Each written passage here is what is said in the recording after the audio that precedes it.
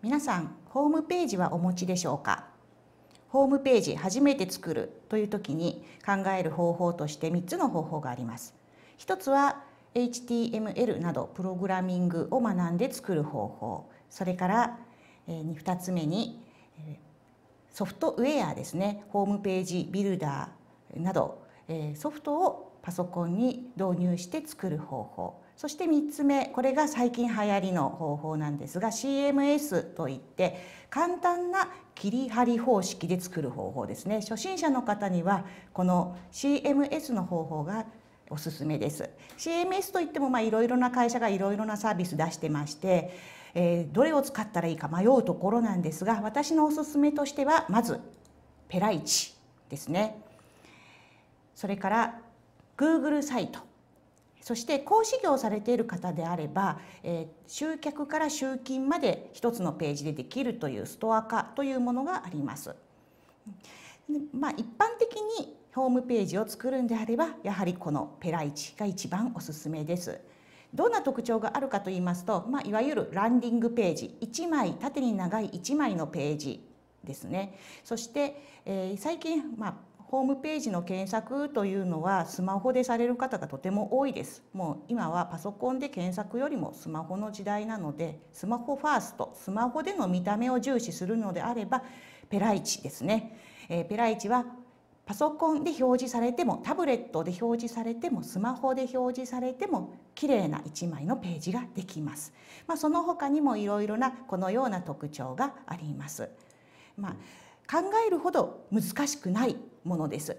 どちらかというともう考える前に作ってしまった方が早いというぐらいのサービスなんですね。実際にじゃあどのような画面になっているかと言いますと、えー、ペライチは例えばですねえー、例えば私こういうプログラミング教室のホームページを作りたいなと思いました、えー、本当に切り張り方式です。この後ろの部分ですね背景。背景は自分が撮った写真。そのままこの背景を変更というところから変えることできます。そしてこの部分タイトルの部分ですね。クリックしますとこういうふうに文字を打てる。そのまま、まあ、キーボードの入力ができる方であれば誰でも簡単にそして文字のサイズのここ変更ができます。色も一つずつこれはカラフルに1色ずつこう緑子どもの「銅」の字だったらここで緑色というのを選ぶ。ですねこんな感じでできますキャッチコピーなども入れていきますね中身もこうページを作っていく中でこれでまあ一つのブロックという形なんですがスマホで見るとここで1ページ目2ページ目という形になっています。1ページ差し込みたかったらこのプラスのマークを押すとここでブロックというものが挿入できます。ここから画像テキストこのような形がいいな、えーと、こうですね。右に写真左に文章であればこのこの部分をクリックして決定を押すだけです。そうするとあとはもうここに見出し文章画像など入れていけばいいですね。ボタン必要なければ消すこともできます。文章もここ見出し2つもいらないなと思ったら消すこともできます。ブロック丸ごといらないなであればこの右で消すこともできます。そしてこのように見出しですね。学校でプログラミング学習が始まるって知ってましたか？という見出し。そしてここに実際にプログラミングを勉強している子どもたちの画像ですね。選んでいきますね、えー、自分でここからアップロードといってね写真をアップロードすることもできます。そしてここの部分に編集文章ですよね。え文章そのままもうワードに書くような文章で構いません。どんどん入力していきます。必ず書いたら保存。これ忘れずですね。ただ保存忘れてしまってもここペライチは自動で保存する機能が入ってますのでうっかり保存忘れも大丈夫です。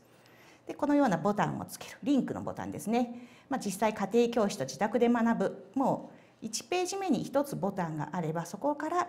このように予約ページにアドレスを貼って飛ばすこともできます。このような形でどんどんページを増やしていってもちろん地図も入ります。地図も簡単です。住所を入力するだけです、えー、申し込みのフォームですね。このような電話でのお申し込みそれからインターネットのお申し込み問い合わせフォームなどもこういうふうに作ることができます。あと SNS のボタンこれは必須ですね。そしてこれエレベーターボタンと言いますがスマホで見た時に縦にとても長くなりますのでトップに戻るの大変です。指でここをタップするだけでシュルシュルシュルっとエレベーターのように一番上まで戻っていくことができます、まあ、ざっとこのようなページが簡単にできるのがペライチです。おすすめです。ぜひ、え、教室に通ってまずは習ってみてください。